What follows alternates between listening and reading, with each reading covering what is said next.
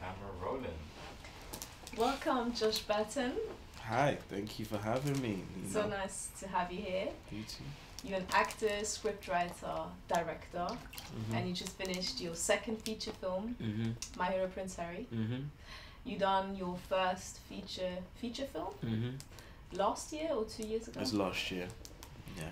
So can you describe a little bit how this film was different from your first one?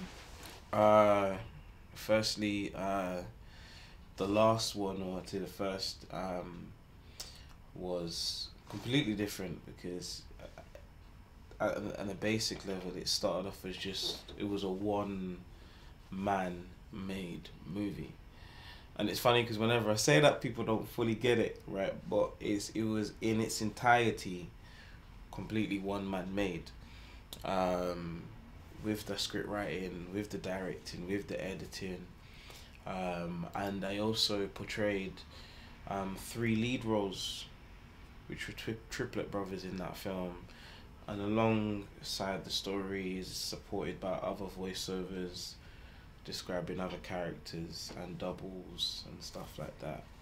Um, and this one was a lot different compared to that because it was a team. It was uh, it was not only in terms of the budget was higher, the production um, value was higher in terms of the equipment that we used, the locations. One being uh, Guy's Hospital. Um, as opposed to the last one, it was a very uh, intimate setting. It was mainly focused in a house, in a living room, um, and that was and then the only main external place that you could really say that was far out there was a police station um, in Bexleyheath, um, which was again another great location. But this one is just just jumped up in people. I think there's over 26 people in total that have been involved in this one, which compared to one is a huge difference in that way. So, yeah. When you think about your acting and you as a person Mhm. from your last film to this now, Yeah. can you reflect a little bit on how this has evolved or how you have evolved and changed? Um, I don't know. As an actor, I don't know. Um, because I made I made it a a a choice of mine to make sure that I was always going to challenge myself with my craft. And I feel that just like my last one was to can I play three triplet brothers and convincingly have them each have their own lives and backstory, intentions and vocal patterns, speech patterns, mannerisms, and convey that with clarity, which was one challenge in itself. The next challenge of this project was mainly as an as the acting part was putting on almost three stone worth of weight, carrying that around and allowing it to form my the way I felt, the the slouchiness, the slowness, um, and just kind of probably thinking if uh, sometimes my knees were not feeling as strong, so I kind of just applied that in the same way. So, um, I think it's been different, definitely. Um, would I say I know how? Um, I'm not too sure yet. Maybe, maybe I will understand at some point. Um, but right now, I just know that it's been an immense challenge for the actor part, as it has always been, and will continue to always be. Um, yeah, and there was another part to that question, I think. Um, I'd say that di- that's different though to the overall project. Um, one thing I will say is I'm I'm I was a bit downhearted at one point, just slightly with my acting in this one because I felt like I didn't have because there was so much of the things that was happening and and my mind had to have a percentage to. I'm still never, we'll still never see, the one hundred percent ability of my. Um, acting in, in, in this film or in my last film yet because I've not been able to one hundred percent just do that. So if you love it, if you think it's great, that's still a fraction of, of, of potential in that way. Um, in that sense, I'd say it was more challenging actually, Mm. um, because there was more people um, to, to, to more people's time, more people's well-being to also be aware of as well. So how did you prepare to to play Harry? Can you describe maybe first describe Harry a little bit, the protagonist? Yeah. Um, so Harry, um, Harry Solomon is his name. Um, the name in itself was there's a lot of thought in the name. Um, just to start the root. Um, Harry, I feel is a very commercial name. If that makes sense, at least in the UK. Um, and it's become very commercially profound at the moment because of Prince Harry and his um, upcoming wedding um, to Meghan Markle. Um, and the irony in that his his real name is not Prince Harry, it's Prince Henry. But the world, if they hear Prince Henry, they'll be like, who? But they know Prince Harry. Um, and yeah, it's a commercial name, which which meant like it's it's something that I think is familiar but different. Especially wanting to play the role myself as a black male, which I'd be identified as. Um, being called the character name of Harry is also unusual, which automatically gives a straight lead of stem to where Harry's base was gonna be for me to portray him unusual. Um, and then the Solomon is broken down solo and man. Um, being one, Harry being singular as a person in the film, and also it came from the approach to the story of it being an idea from myself. I thought I would apply that strength or strain to the portrayal of the character um, and him feeling like he's going through this journey by himself similarly to when um, creating the project solo man harry solomon. Um, that's the name. That's where it all started from in that sense. Unusual solo um, so that was that and that bleeds straight into the, the other part of the question where you're saying um, how was my approach to him? Yeah, it started off with unusual.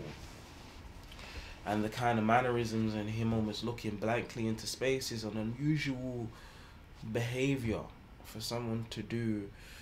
Um, you know, um, it's not a common reality of how you should behave or how you'd see someone to behave.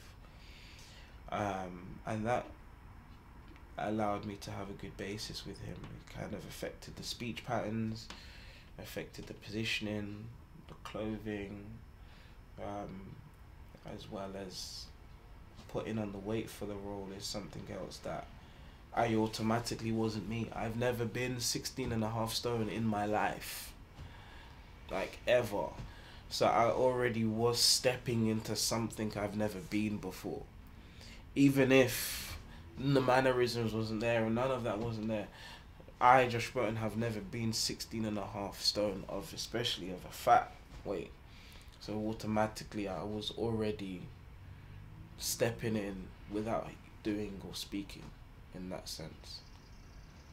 So would you say that like putting on all the weight kind of helped you to, to get into the role? Um, yeah, I'd say so. Um, uh, yeah, because it was also, in a way, it was almost like a form of method acting, I guess, because uh, I started wearing just black and only black. And I could have bought new clothes. I could have bought uh, bigger tops or bigger jumpers or something like that. But instead, I um. I, I then realized the jeans that I had before aren't fitting me no more, or it's just too tight, you know, and so I was just kind of like, it feels like I can only wear jogging bottoms, and then it, it just adjusted to the the character because I was like, again, that's just not me. I don't just wear jogging bottoms everywhere and anywhere. Like I switch it up a little bit, you know. Um, like I'm now I'm wearing a bit more color. Um, so yeah, those things just kind of followed. I think. I think the weight was um, when I when writing the script um, and and and wanting to to to kind of think about the word depression. Um, I did think why would what would be a cause and effect of that, and not saying weight's the only reason, but weight was just one of the reasons that did make sense um, to the unusual behavior. Mm. So yeah, I'd say that did help in that way. You talk about quite serious issues Yeah. like depression or ovarian cancer. Mm-hmm. What caused you to include these these topics? Um. uh, it all started with uh, I thank this guy. Um, and maybe I'll work with him one day. But it started with Aamir Khan, who is a very well known Bollywood actor. Um, and Aamir Khan recently, which is an amazing film you should watch if you've not seen it, called Dangal. Where I didn't see the film first, I saw a trailer of his workout that he did to make the film, and he was like put on a mad amount of weight and lost it and burnt it all and became muscle within like a five month period. And the challenge within me said, okay, Aamir Khan, challenge accepted. You know, so that's then, that then brought me to the idea of gaining weight. Following that, there had to be a reason for, for the character to have gained weight and lost weight in a time span of what it was. In Aamir Khan's film, it was like 10 years. You know, I'm not trying to mimic him. I just wanted to accept the challenge. Um, so to then think why, like, what what would what would make him gain weight so kind of quickly and, and then be able to lose it. Um, and something like depression made sense. Like he made he lost it. He lost himself, and just started eating and something like that. And he lost his way, and that that's where the that the weight came in, and that's where um. The, the, the, the idea came in to make it about uh, uh, uh, um, about depression in that way, and um, and then I was then trying to think of okay, so what would make him lose it? Because I don't want to be fat forever. I just want to put it on for the film and then be able to get rid of it. you know? Um, so it had to make sense. It wasn't just suddenly he's a couple months later he's slim. Like, nah, it doesn't doesn't add up. So then that's when I was then thinking, okay, what is his why? and the why is life in that way you know you have to have your why uh, don't have your why then you won't do it. You know people can tell you but if you don't have your own why you won't do it. And harry needed his why. And it could have been a male it could have been a female it could have been an animal you know. But in this case um, um, it was a female. Um, i made it intentional to not to for it to not be a direct love story, but it be a story of love. Um, not a story in love, but a story of love, and and and love being that answer in that way that saves Harry. Um, and the only way that I didn't want to put just a female in the film to just have no direct presence of her own, to have no direct um, purpose or validation. You know, although she isn't, um, I'd say, the main source of the story, I wanted her presence to have a powerful influence by the time the film had ended. Um, but I didn't know what that was at first, and this was a healthy thing of scrolling through Instagram. Because uh, I was just scrolling, scrolling, and then I saw some um, campaign about um, gynecological cancer, and there was loads of models and stuff that would do doing the campaign with T-shirts and everything. Um, and I'd heard of gynecology before, but I, I didn't. I just knew it was like about the vagina, but I didn't know what it was. You know, I didn't know like the depths of it or anything like that. And that's when I pursued on the knowledge and finding out more about it in that way. Um, and that's when I learned there's five different types and everything. Um, and then I just knew this is it. This is the message that needs to go in this to make it have validation, her have validation as a character, and not just to be validating Harry and have nothing of her own. Um, and that's where the two topics came. It was a journey of getting there, but once I got there, they then have created their own journey and will create their own journey. And plus, it was great because on this scale, like I hadn't seen, I haven't seen depression conveyed in a way that I'm trying to convey in this film. Where you see it as literal, not just the person that they're down, but you also see possibly what they may see. And then by the end, like you'll be able to see the possibility of recovery and how recovery could happen. And within that, you also then get touched on an awareness of gynecological cancer. Something me as a male had no idea what it was.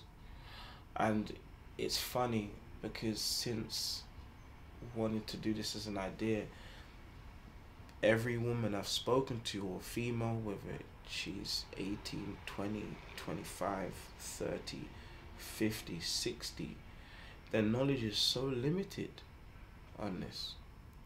You know, so it kind of just goes to say, like, you know, it's something worthwhile to approach as opposed to just something of approach as well. Mm. You know.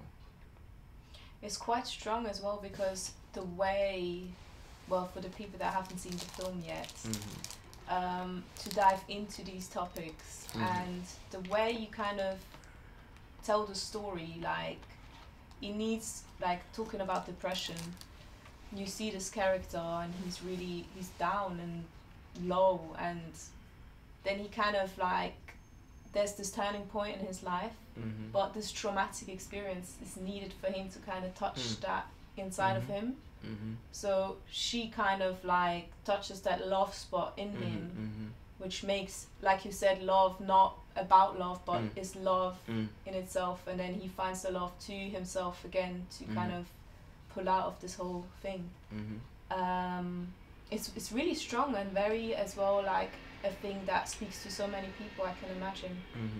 so the whole depression part how did you learn or did you talk to people mm. how did you learn about it um it's a it's a bit insane because there wasn't any learning in in in at first. It wasn't like direct. Let me find out how I can approach this film. I just started writing.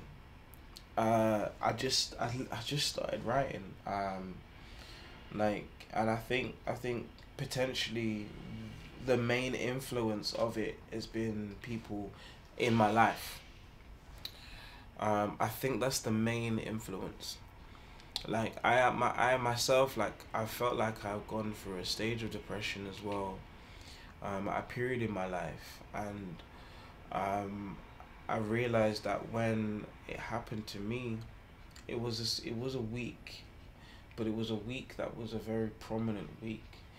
Um, by the end of that week, I saw I saw clear as day like there was left and there was right. There was a choice. And I think there is always a choice.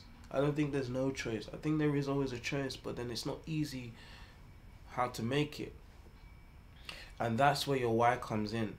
Your why needs to be powerful enough that that why guides your choice without you needing to feel like you can do it. You know, gravity's in acts all the time. You know, it encourages how high we can jump. Um, but it doesn't say if we can jump or not. You know, we make the choice to jump or not. But gravity encourages how high we can go in that sense, if that analogy made sense. Um, but um, mainly people because like I've had friends or or family that are living this now. Um, and although um, I wasn't mimicking their life in the story, um, I, I I was able to kind of think create the the side that people don't see, you know. Um, someone could look at a character like Harry or someone like myself right now or themselves watching this and think, well, they're perfectly fine, you know, they're all confident and everything like that. But really, there's so much things that's hidden behind it, you know. And I wanted to just mainly, mainly convey that visually, not just the down part. That is an element that we see but it's I wanted to convey visually the behind the lines, the subtext of that, and their elements that you really get to see that of that will really kind of be prominent or are prominent within the project and within the writing. Um, in that sense. Um, but yeah, like, uh, yeah, uh, depression in that sense is is a coexisting fact of life. Like it's it's there no matter what. Um, but it it's not always negative. Um, it's it's it's really isn't always negative. If anything, is actually positive, which is insane to think of it that way. But it is actually a positive thing because it's an a source of emotion of where you unlock something else you know, you want you unlock courage in depression. You unlock bravery in depression. You unlock confidence. You unlock beauty. You don't just uh, go there and that's it. You know, you can't find things if they weren't lost in the first place. That's how you find something. Um, and that's the beauty of Georgia in this sense. Um, because Georgia if anything, didn't save Harry. If anything, she damned him. Because he was safe where he was. He was safe. He wasn't living, but he was safe. He was in a repetitive cycle where he was safe. Her coming into play damns him, essentially, because it throws him into the open eyed reality to have to face beyond the net. Um, which is that double bladed thing. Say she she saved him, but she also damned him, in that sense, which did open his eyes, and it, it's true. Like, you need to go to that forest to find, and the only way you can find is if you allow yourself to be lost. Um, it's the only way in that sense, you know. if you do want to go to another place, if you do want to like ascend, and that's essentially you have to kind of yeah. Um, yeah, can you talk a little bit more about that forest part? Like, it sounds to me like it's, it's really the dark night of the soul, like just when you're Mm. facing this whole mm, darkness. Um, Talk also about the location or how you came Yeah. across this place. the place was a mere accident. you know, I have to thank um, um, Anastasia or Anamina, um, the assistant director, because she saw the script and we spoke about it. And we spent a lot of time together speaking about it.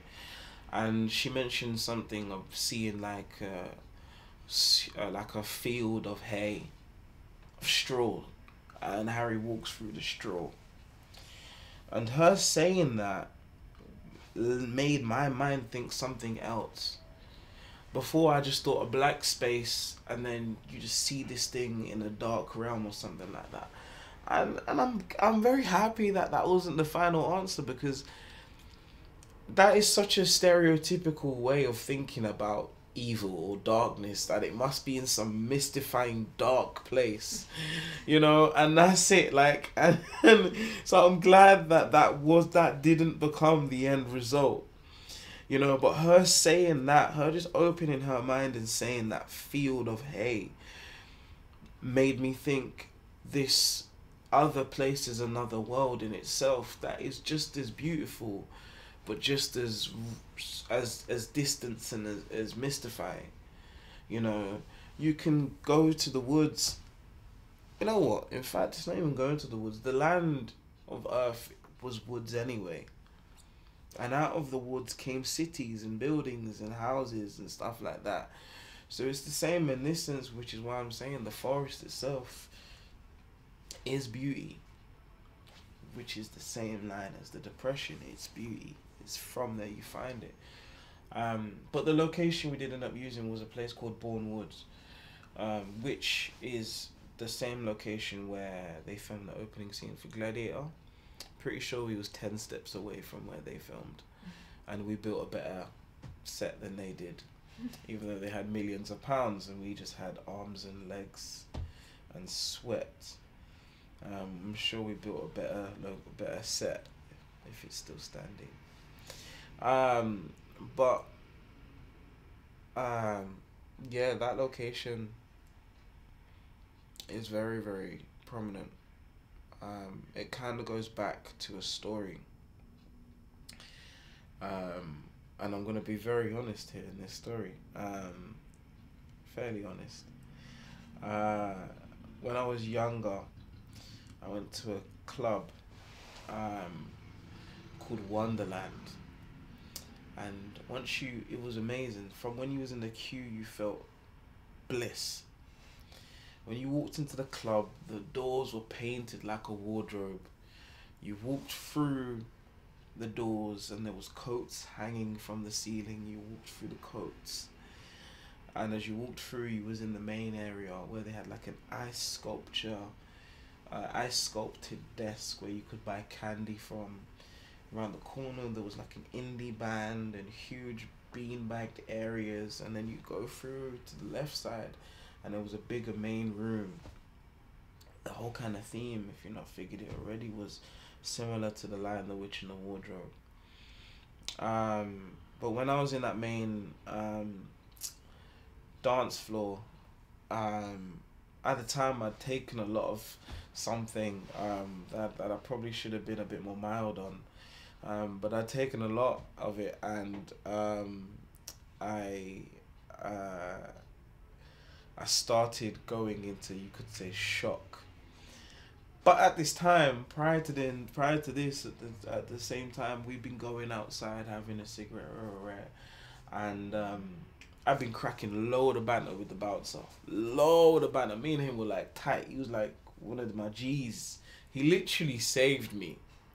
Because at this point now where later on now my body started crashing um i was just like kind of collapsed on the sofa. My head was spinning everything like that.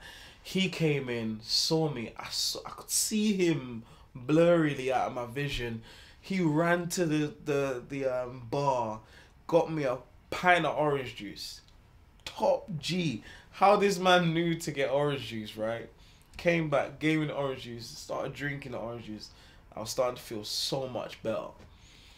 Um, but during this, and this is the mystifying part, is that this girl came over, she sat next to me, and then she gave me a book.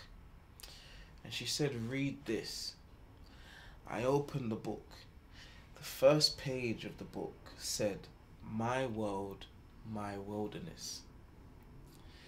And it was an original copy from the year that it came out in 1959, and it was given to a person called Wilfred. Because that was all in the first page when you open the book. The same Christmas that that book came out was the year that book was given. And then she said, Hold on to this for me. I held on to it. I, like an idiot, was like, Ah, a book, you know? Um, she said, Hold on to this for me. She left. And then the night was coming to an end, and I was eventually starting to feel better. And I never saw her again. I was trying to find her, but I never saw her again. And this night could have been a dream. It could have almost never happened. However, I have that book. Mhm. That book validates that night and that actually happening. Um, but I say that story because the My World, My Wilderness applied so deeply to the manifestation of the forest and Harry's mind. Where this is his world, this is his wilderness, and everyone has these worlds and these wildernesses and whatever. And some manage to break the woods of the trees down and create houses in their world, and then allow that to be projected and be seen by others. And some are so lost that they think they don't have any tools to use. So they just stare aimlessly at the tree, not knowing what to do. Um, and I kind of wanted to, I kind of feel that that forest, in a way, gives that. Um, being one of them locations. Um, yeah. It's its, it's its own thing. It's its own sub story, that forest. Mm. Um, yeah. That's really strong. He goes into the forest not only by himself but with another character in the film. Mm. So this strong bond or the friendship that, comes through as well between these two people. hmm What inspired you or what what do you think is the point of this whole like he's not alone like he's alone but then there's these important people around him Because ultimately, no one is actually alone in that sense. Um, I cycled to Ireland last year by myself. Um, and it was one of the scariest journeys of my life. There was times when I, I felt like I found out everything I needed to find out in life. I didn't uh, see everything that life has to offer, but I felt I felt like I understood every meaning you're meant to understand because I felt lost, I felt betrayal, I felt happiness, I felt saved. Through many different things that happened, but the key one because that question which I'm gonna mention is when I was cycling on some of those long, isolated country roads with no light, no shed of light, no shed of existence, nothing. It was just me, the bike, the light at the front of the bike, and the trees. And there's moments I'm looking at these trees, and I swear it's like they were talking to me. And you could say it's delusional, whatever, but it just, it wasn't like they were saying, Josh, come and hug us. It wasn't like that. But it was just like, it's just, it just wasn't like I was just alone on that journey. You know, there was something or some that was helping guide me forward on that on that journey. There was points that the s- the sat nav, the GPS wasn't working. You know, and I was just following paths. There was one part, there was one point in particular. There was a petrol station. It was shut down and closed.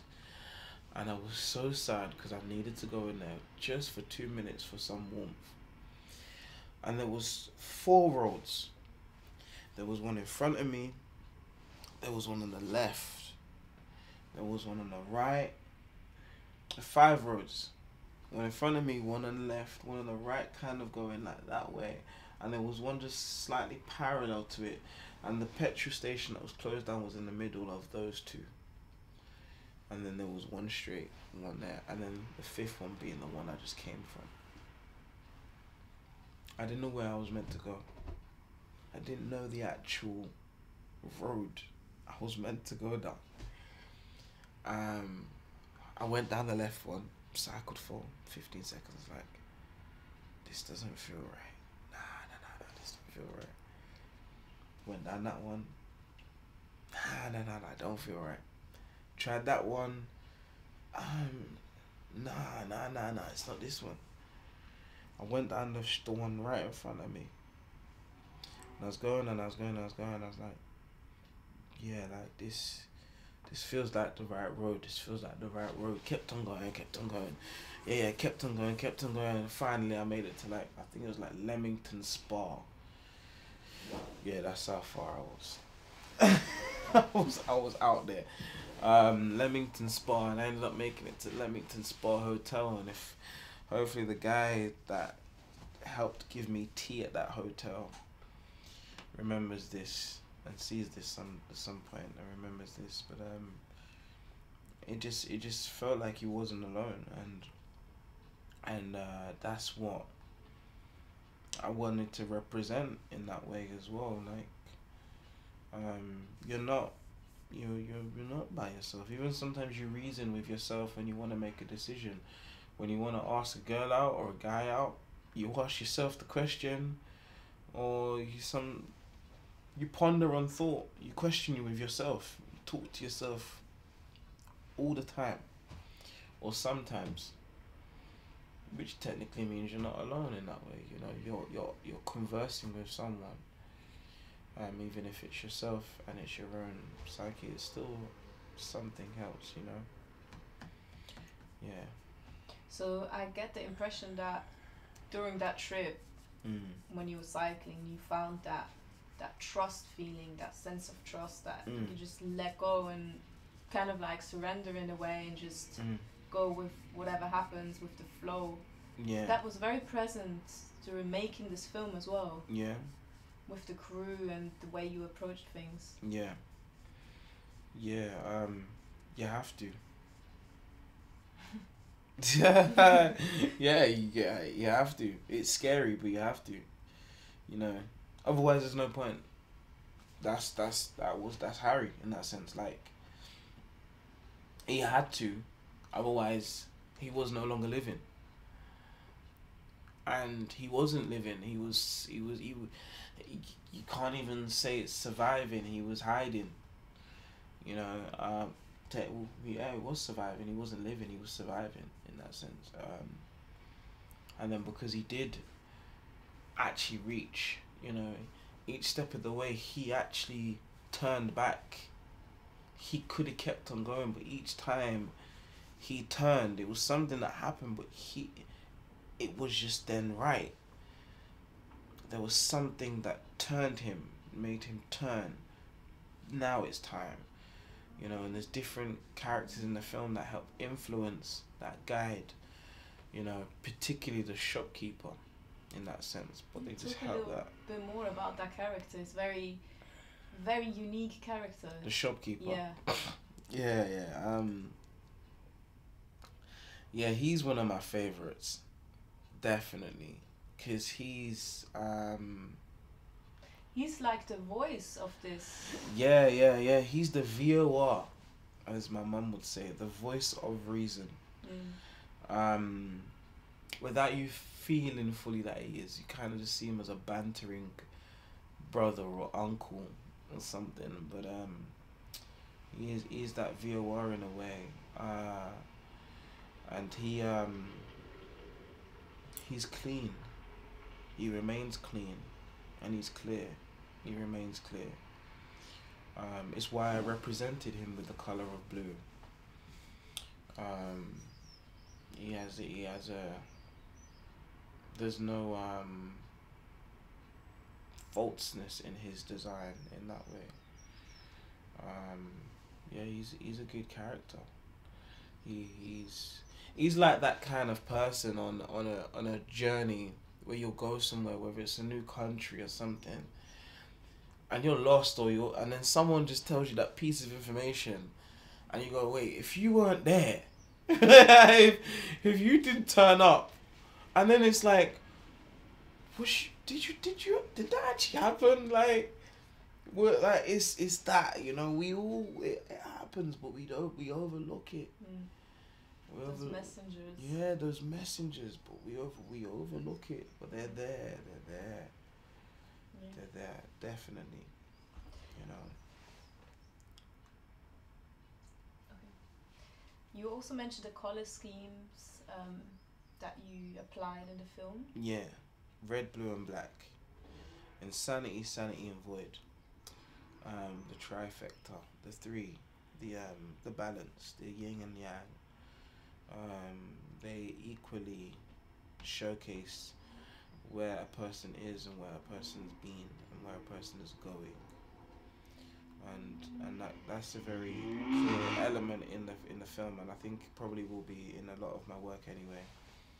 Um, it is it is something that was inspired partially by the Matrix, um, and then I said it as a term when I was in a state of my education, and just said the red pill, blue pill effect.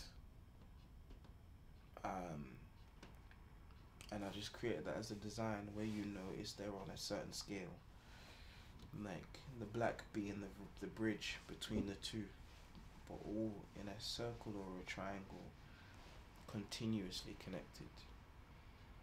Um, in that way. Mm. So you mentioned the Matrix as like an inspiration or Yeah, I want. Yeah, I want. Like, yeah, in a way, I'd say, in a way, an inspiration. I would. I wouldn't say. I I mean, I, I know I said that word, but I think. I think more than an inspiration. I think it was just a. Um, it was just an idea. That, that influenced.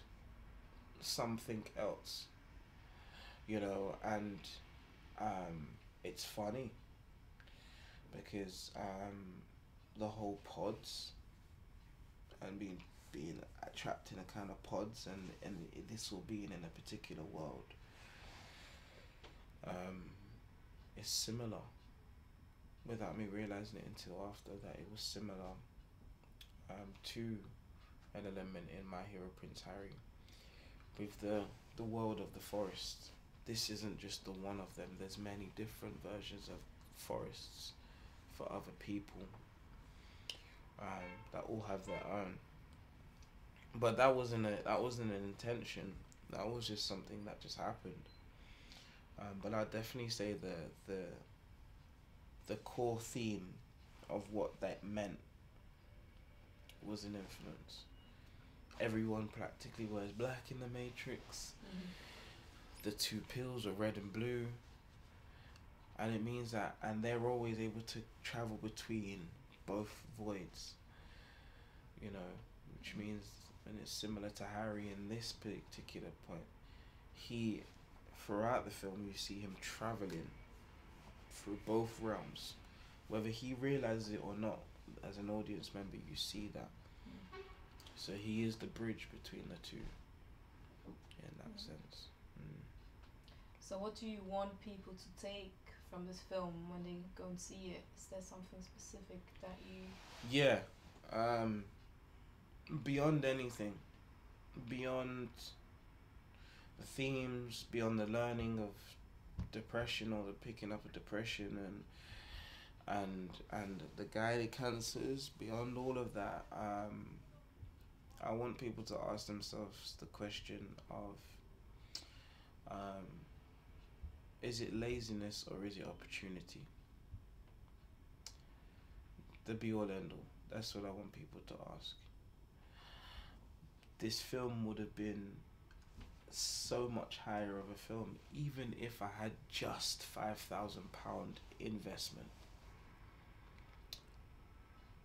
When you deep what has been made under a wage and no investment, if there was even a minimal one, what would there have been? But it's to say is it opportunity that stops the evolution or is it laziness?